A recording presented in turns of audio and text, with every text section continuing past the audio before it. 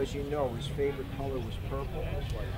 And the Dymo labels on the thing are purple. They do indeed,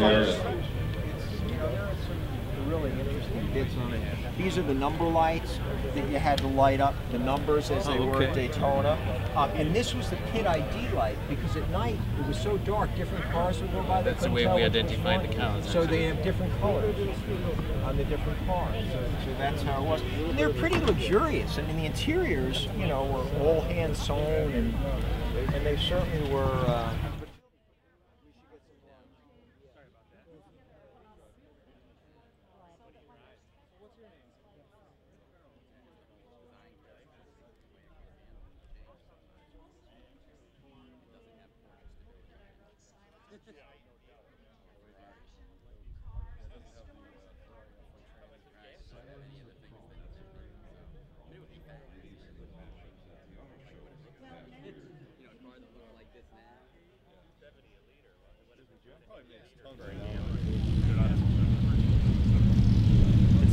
getting that baby, huh?